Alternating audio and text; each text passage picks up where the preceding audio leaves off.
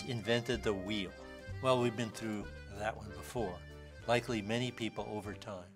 But consider why the wheel is such an act of genius. It can move stuff faster and more efficiently, yes, but can also do so going now one way and then the next in the opposite direction. What about the fork? What genius invented that? Well, again, maybe several or a lot of people over time. The fork may have started life as a simple stick used to put meat into a fire, but the meat fell off. Oh, how, to, how to hold it more securely? Of course, a double pronged stick, and then a triple pronged stick. But why remove the hot meat and eat it with your hands? Wouldn't it be more efficient? Again, simply to flip the multi-pronged stick in the opposite direction and pluck the meat directly into your mouth. Eureka! From a contrarian idea was born what we call the eating fork. Other great moments of contrary thinking throughout history. To discover the East, Columbus sailed west. To cure people of smallpox, Jenner injected them with pox, actually less lethal cowpox. Kanye West said, Nothing in life is promised except death. Shakespeare's Hamlet said, I must be cruel only to be kind. Isaac Newton's third law of motion says that for every action there is an opposite and equal reaction. That's why these rockets blast up with a force pushing down. In 1747, Johann Sebastian Bach wrote a contrarian composition for the King of Prussia, Frederick the Great, part of Bach's musical offering for that king. The music is set carefully so that it can go backward and forward simultaneously. He composed only one line, but did so in a way that that line could go simultaneously beginning to end, the top of the score there, or end to the beginning, the bottom of the score, and the two could go together. Let's play it.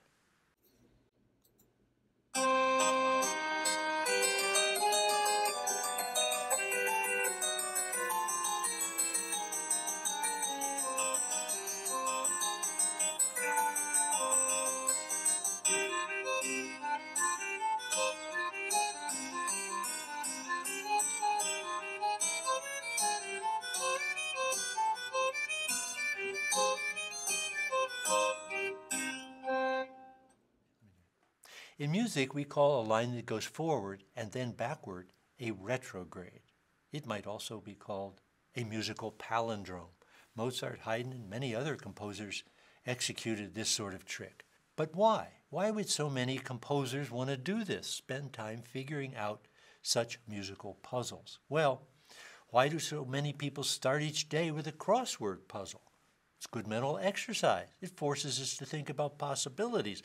It forces us as it did genius Bach, to develop a different kind of thinking. Contrarian geniuses like to think against the grain. Contrarian thinking makes us comfortable with ambiguity. Hey, maybe both of these positions or ideas are correct at the same time.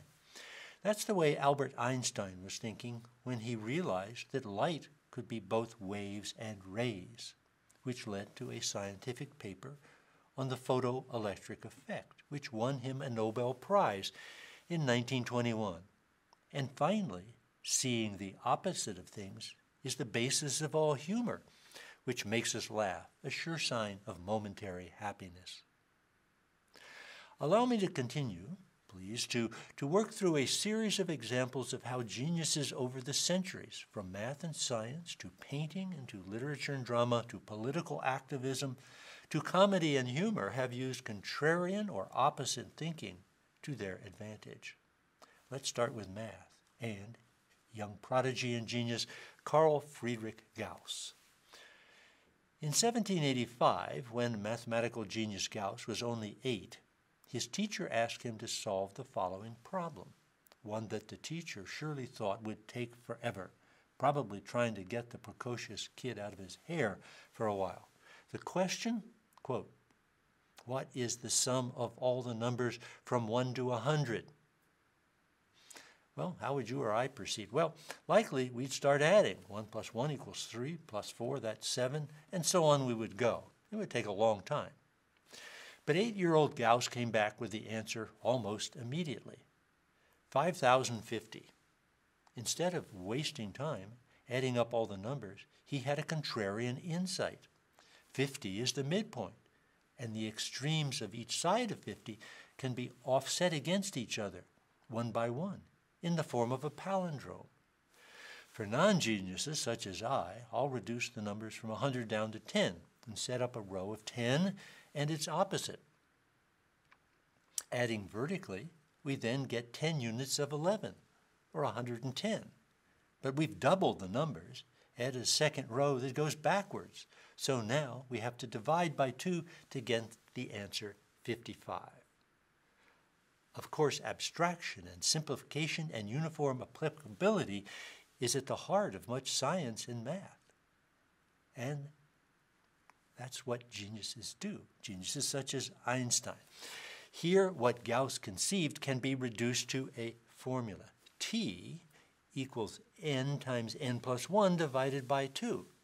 Try it. It works out for any sequence of numbers. Now that's genius. From math to chemistry and microbiology, we all were afflicted during the years 20, 2020, 2021, 2022 with a pandemic involving the COVID virus. The United States was able to develop vaccines quickly in part because it was using a new type of technology called CRISPR, which stands for Clustered Regularly Interspaced Short Palindromic Repeats. And, as mentioned before, research in this field is what earned Jennifer Doudna and Emmanuelle Charpentier the Nobel Prize for Chemistry in 2020. Again, I've got to be honest here, I don't really understand very much of this. But short palindromic repeats seems to be short palindromic fragments of DNA involving retrograding patterns of nucleotides. Between the repeating patterns sit spacers, and into the spacers can be sent bits of mRNA to stimulate the growth of spike proteins, antibodies, that stop an invading virus.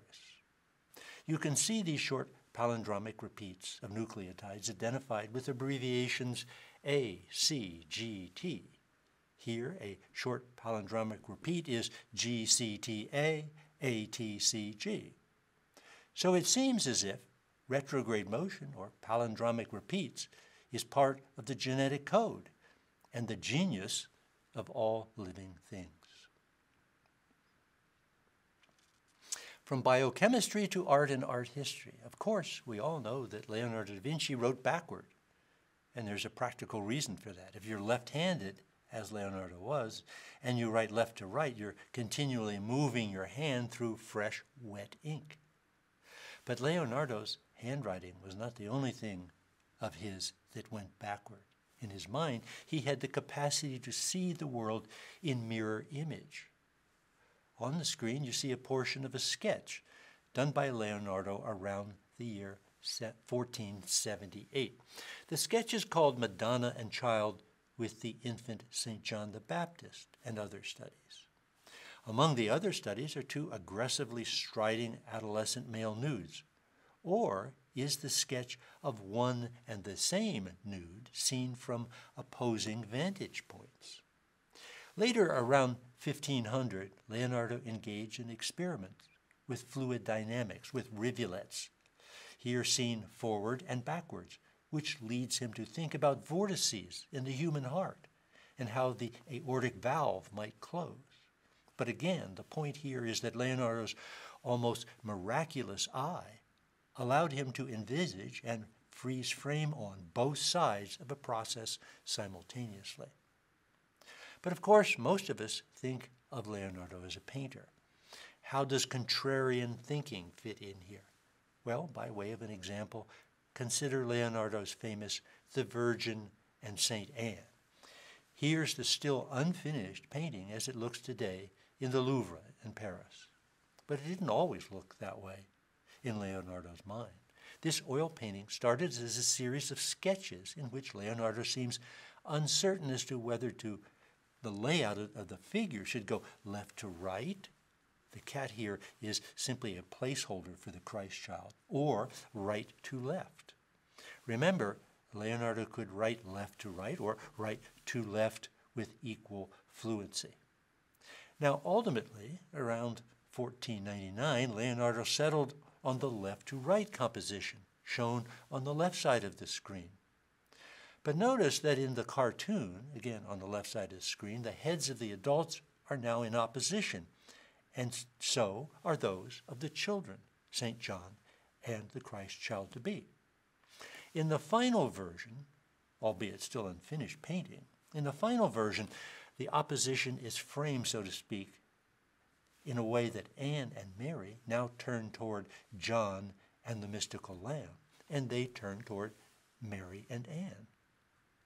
This painting, as well as a painting of the adult St. John the Baptist and the Mona Lisa, were the three paintings that genius Leonardo carried with him and on which he continued to obsess to the end of his life, which occurred in France in 1519. And this explains why these three paintings ended up in the French Louvre. Why does lightning strike? Extremes of positive and negative electricity race towards each other from above and below. When they meet, we hear a thunderous result. Why do tornadoes form? A confrontation of extreme high pressure with cold, dry air meets an extreme low pressure with warm, moist air, and a whirlwind results. How does one create drama in the theater? Yes, there's a confrontation, a meeting of opposite opinions or desires. Maybe that's why a play is called a drama. Think of the dramas of Shakespeare, and arguably the most gruesome scene, the bloody murder of King Duncan by Macbeth and Lady Macbeth. What does Shakespeare follow the murder scene with? The comic scene of the drunken porter.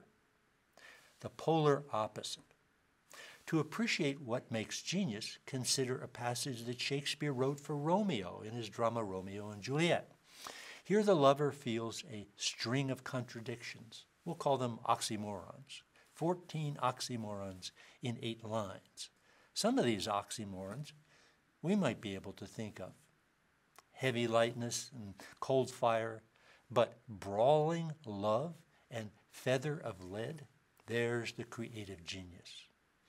Here's what Shakespeare put into the mouth of Romeo to express that character's conflicted, almost tortured view of love. Here's much to do with hate, but more with love. Why then, O brawling love, O loving hate, O anything of nothing first create? O heavy lightness, serious vanity, misshapen chaos of well seeming forms, feather of lead, bright smoke, cold fire, sick health, still waking sleep. That is not what it is. This love feel I, that feel no love in this. He's in love, but he doesn't love it. Finally, consider the staying power of Shakespeare's most succinct oxymoron, one in which he creates existential ambiguity by juxtaposing two opposite but incompatible conditions to be or not to be. How does the genius change the world, the modern political world? Sometimes by turning to contrary action. Mahatma Gandhi employed non action, hunger strikes, going without food, and passive non resistance to achieve independence for India. In 1947, Martin Luther King Jr., a disciple of Gandhi, employed passive resistance as a tool against the water cannons and police dogs directed against blacks in Alabama. King's most effective and justly famous speech is his I Have a Dream speech, delivered at the Lincoln Memorial in 1963. The text is Shakespearean in its use of oxymorons. Here, opposite images form poetry with a political agenda. The dark and desolate valley of segregation contrasts with the sunlit path of racial justice. The sweltering summer of the Negro's legitimate discontent contrasts with the invigorating autumn of freedom and equality. 1963 is not an end, but a beginning. We shall always march ahead.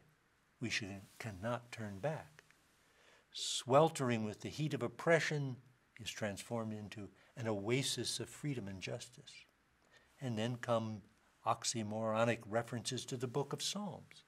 Every valley shall be exalted, every hill and mountain shall be made low. The rough places shall be made plain, and the crooked places be made straight. And finally, toward the conclusion, quote, we shall be able to transform the jangling discords of our nation into a beautiful symphony of brotherhood. A dramatic musical use of opposites.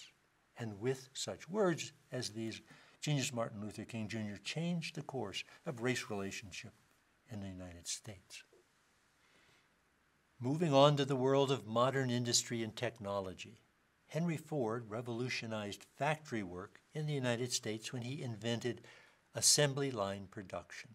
A visit to a slaughterhouse in Chicago had impressed him with the speed and efficiency with which a dead steer, hanging from its heels and pulled along a steel chain, could be disassembled to nothing.